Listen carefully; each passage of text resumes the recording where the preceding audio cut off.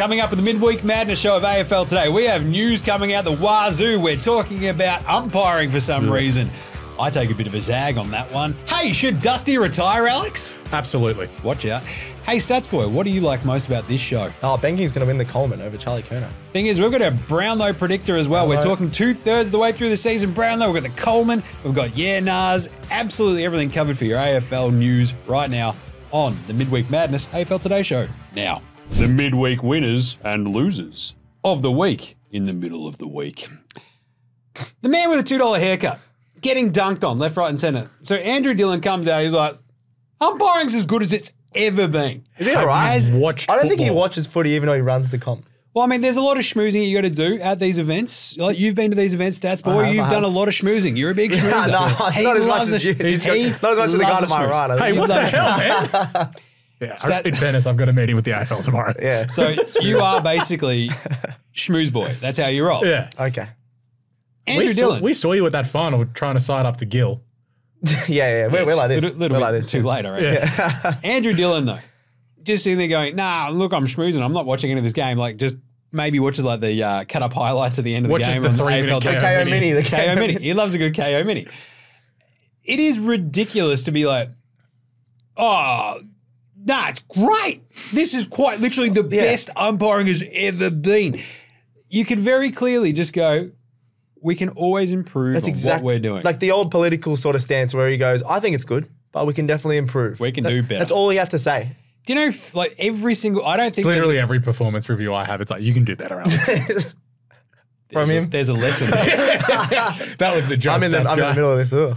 The vibe though is very simply just like, hey, there's bro- not a fan base in the AFL who's like, you know what's awesome this year? The Well, umpiring. never. There's never anyone is gonna say, "Oh, that umpi- that game was umpired great." But if you don't notice them, it's That, better. that means it's been umpired great if you don't notice it. And Yes. that's you never want to notice No, it. That's yeah, the of entire course, thing. The fact that it's been such a kid, like we talk about AFL bingo and news bingo like each year, and it's like, all right, what are we? We're going to roll the red roll- card, state of origin. We'll talk about state of origin. We'll talk about time on. We'll talk about Umpires, should yeah. draws. We'll talk about umpires. Yeah. Right? Week on week on week. Haircuts. It feels like every two weeks That's we're just just like, oh my god, we're got another horrible example of really bad umpiring. Yes. And for Andrew Gill and Dylan to come out and be like, nah, man, what are you talking about? It's like he's basically gaslighting us. He's like, what are you talking about? The umpires are fantastic. a very good- You're wrong. You're wrong. You're not watching footy correctly. Does this It's like, now wait a minute. come come down to the AFL umpires need to be full time because it's the umpires have come and said They are. we don't want to be full time because we enjoy the, the lifestyle and freedom that we have outside of footy. It's like hmm. You can still do another job. I'm not stopping Most, you from yeah, lots doing of them are like full time. I think. No, they're not. What are you doing? I know lots of them are teachers and things like that. but But, but that's what I mean. It's like hmm.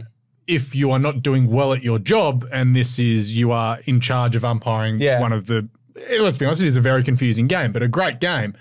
Shouldn't you be full time given the professionalism and standards of the AFL? Because I don't think that Yeah, an NBA umpire or an NFL umpire are on weekend on during the week going, right, kids, seven plus six. yeah, that's true.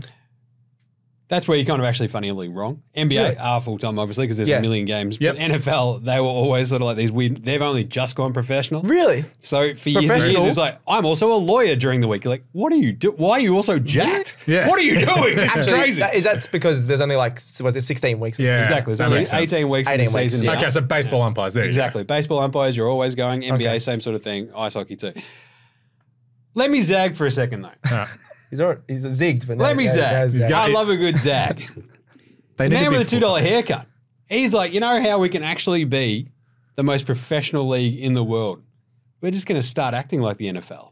This is awesome. Everything's fine. Nothing to see here. Are we gonna folks. get a team in it's Las- all good. Las Vegas? They're going to start going. You know who's in underinflating balls?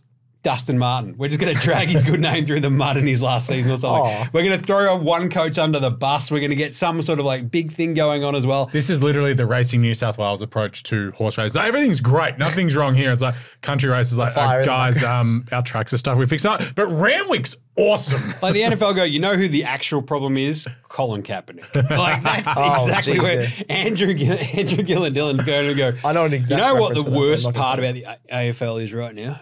Tell you what. You know, I reckon it might actually be Jordan Boyd. And you're like, what? Jordan Boyd. Jordan Boyd's like, what the hell did I do, man?